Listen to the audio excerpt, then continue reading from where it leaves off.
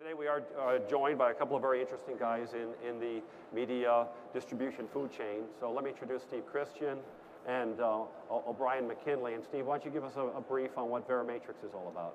Yeah, um, Verimatrix is in the business of uh, content security. So we protect uh, the video distribution from all types of, uh, of content, from DVB broadcast content to streaming content, IPTV content, and so on basically helping people put together the business models that, uh, that enable the, the cash register to keep, uh, to keep running. So. Does that include like watermarking content and fingerprinting in it? It does. What watermarking is what we call one of the sort of additional layers of the protection onion, if you like. But obviously, fundamentally, uh, encryption and uh, output control and other kinds of technologies are uh, important in this kind of mix. Okay, and so you're working hand in glove with broadcasters and media companies to form their digital strategies for the various appliances in the market. Yeah, yeah, in particular multi-network and multi-device kind of strategies. Perfect. Okay, O'Brian.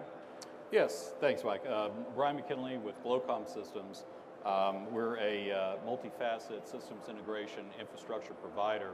Started out as uh, a one of the strong satellite uh, uplink providers um, and have grown dramatically over the course of the years of our service uh, for satellite service, system integrations, and up to and including now, which we host uh, the master control operations and VOD delivery for a little company called Showtime. So uh, we're very diverse. We have five verticals, if you will.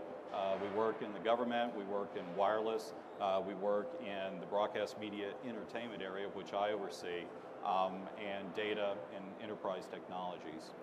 Great. Now, this will be an open session, so if you raise your hand, we'll have somebody come find you and ask you a question. Um, so if there's a burning topic, jump at any old time. But let me, let me start, Steve.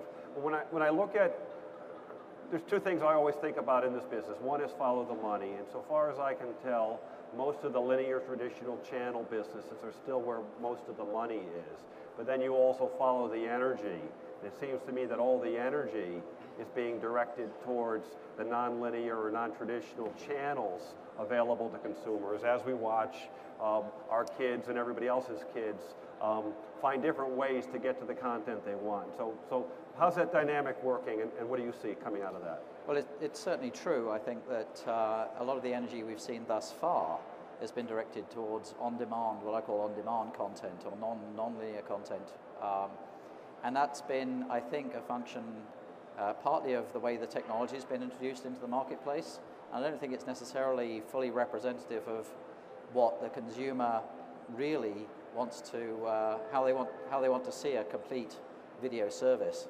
Uh, I, I, I continue to, to believe that uh, a mix of linear, live, and, and on demand is the kind of representative of the service that people want to see on their connected TV sets on their tablets as well as they're on their traditional big screens in the, in the living room. So um, I, I, do think, I do think that energy is gradually shifting. You're seeing um, uh, in, in, the, uh, in the TV everywhere kind of uh, heading, you're seeing the great popularity of things like the Time Warner um, tablet application. And, and that's kind of interesting to me that uh, the first opportunity that people have got to use a tablet uh, as, a, as really as a TV. And God knows, the iPad is one of the greatest little portable TVs that I've ever seen. It's the first thing I thought about when I held it in my hand on uh, April a year ago. Um, that, that, that live application has become really a, a, a, an emblematic of, of being able to distribute a more traditional service across different devices around the home and potentially outside of the home as well. So I think we're gradually going to see the energy balance up between the the on-demand and the, and, the, and the live content uh, uh, consumption models. Right, O'Brian, in your case, you operate teleports, you do a lot of systems integration and solution development for, for programmers. What are you seeing coming out of, of, of that, that exchange? Well, we're seeing, and we work with a lot of uh, content providers. Um, and the one thing that really stands out now is the lack of a ubiquitous network. Um, in other words, everybody has their own niche for product delivery or content delivery. As an example, the iPad, which is great, you know, for that mobile TV and TV anywhere. You look at Google and Google Analytics. All of those have their own uh, DRM or type of delivery device. So if you want global content media, if you will, or global delivery, there has to be some ubiquitous, again, using that word, form of openware in order for many people to deliver much content across, you know, the human eyes, such as you and I. Um, and, and if you don't, uh, one thing that we actually have in our test lab, you know, we have five or six different set-top boxes, and each of them are specific to an application or content delivery mechanism, which I don't see how the consumer can do that. Mm-hmm. Yeah, I mean, what, what, what that points to is either a, the stovepipe analogy, where a programmer is trying to do everything cradle to grave in terms of their delivery of their right. content. Um, somebody pretty zealous about maintaining brand identity and the like across platforms and media and appliances and devices, versus a platform operator's perspective on all that. And we are seeing more than a little creative tension in that. Some of the news over the last week has been about um, Cablevision and some others developing a mobility play or an app play um, with or without the tacit consent of some of the programmers who are, are crying foul in terms of use or in terms of application. Anybody want to comment on, on where that's going? Well, I, I, I, did use the, the Time Warner example. Cablevision is another example of, of that uh, attempt to move uh, consumption onto um, let's say tablet devices, but I think it goes beyond tablet devices into, into smartphones and other kinds of uh, TVs. Um, it, it's an example of, of, of the uh, response, I think, to, to what I see as a latent sort of consumer desire to use this new internet delivery medium to, to balance up, as I said, the on-demand and live, live content feeds. So the, the, um, the technology behind it is interestingly what seems to be the issue. Uh, streaming from the cloud versus streaming from a gateway seems to be uh, a, an important legal point that seems to be debated.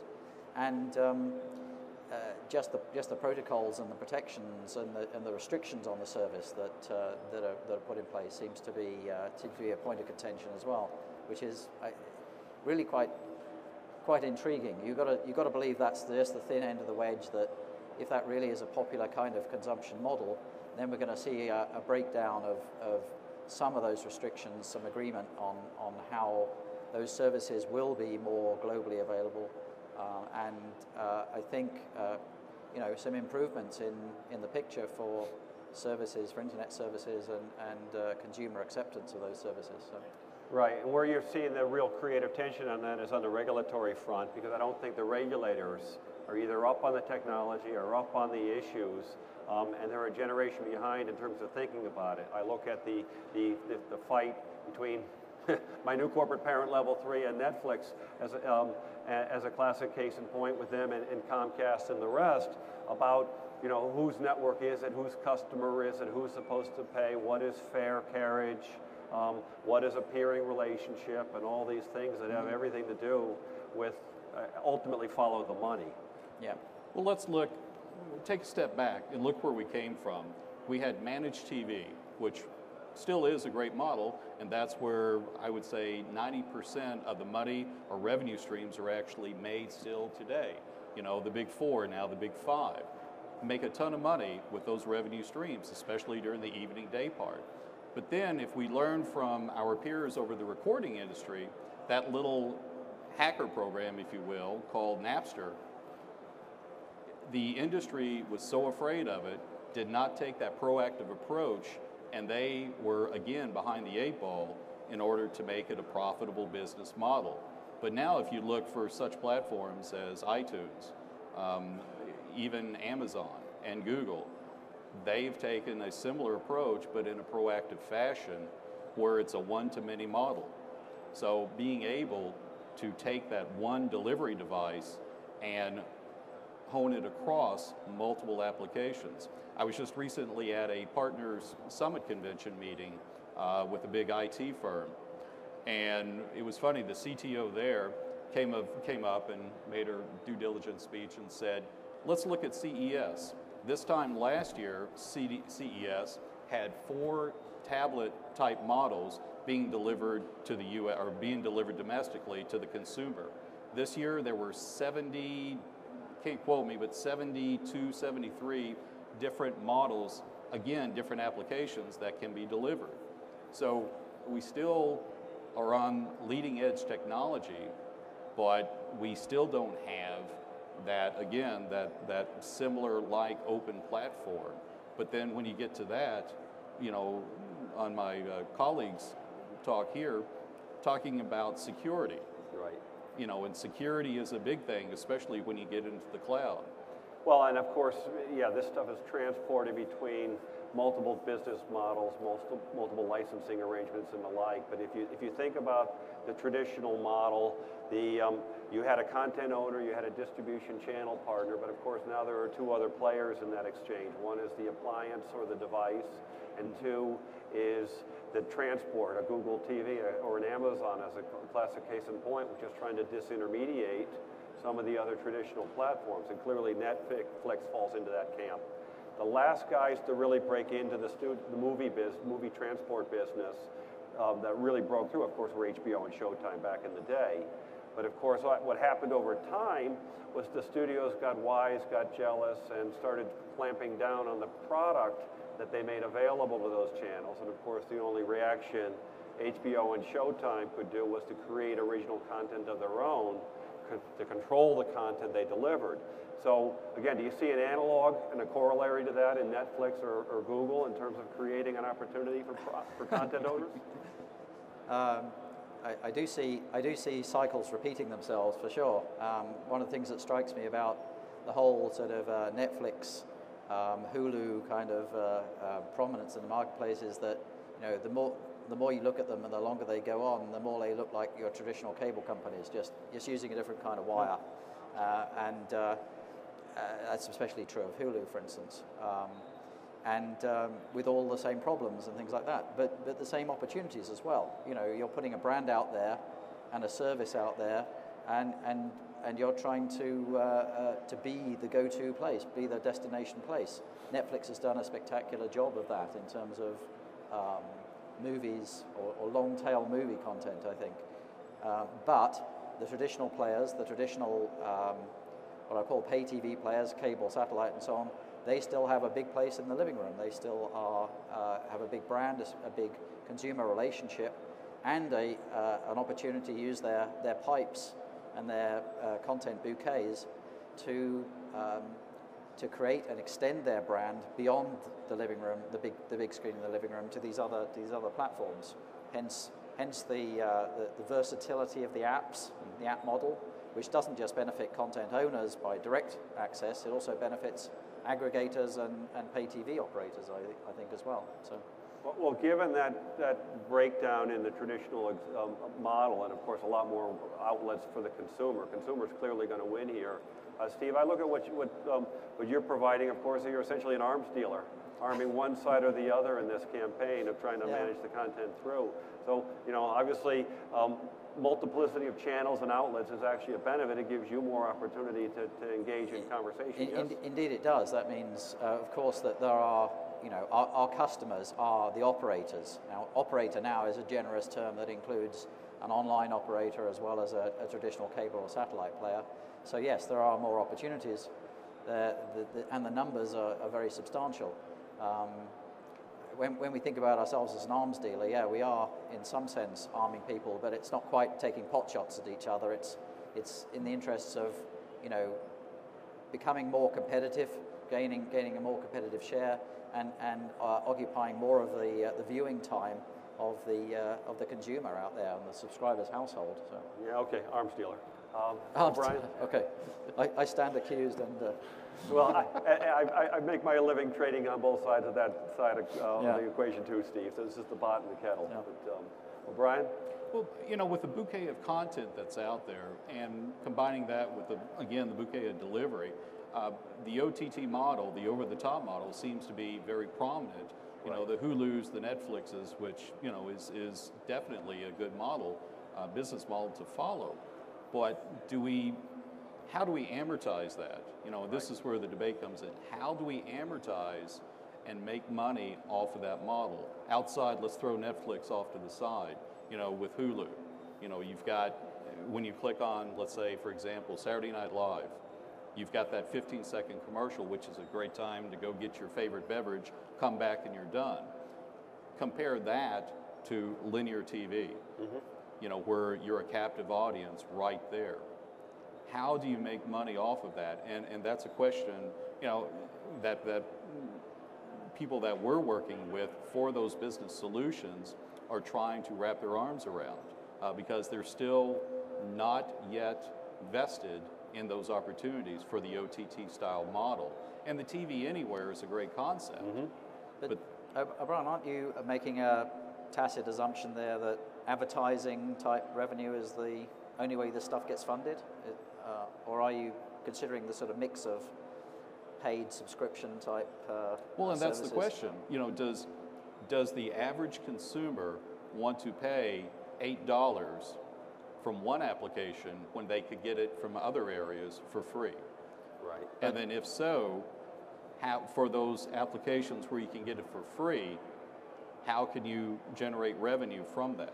Right. I, I, I think that when you, you look around um, on the internet, you're finding much less sort of free and easy anonymous browsing content out there, actually.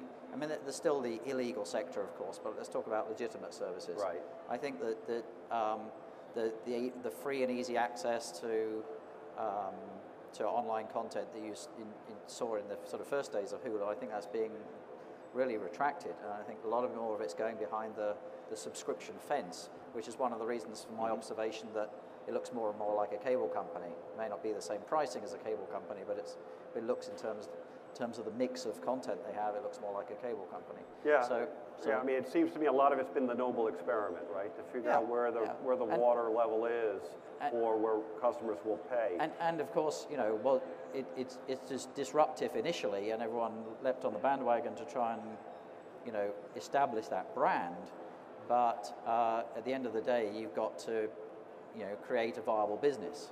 And, and the business model that's worked pretty well in the pay industry um, is this mixture of advertising and sub- subscription. And good heavens, you know, that, that, that, that business is still going pretty strong, actually. So. Right. Well, I actually want to make a corollary to the print print media market. I mean, there's there's been there's an argument that's out there that says New York Times, which of course um, was free, it went to to pay, it failed, it went back to free. It's now trying a limited kind of use before you pay model.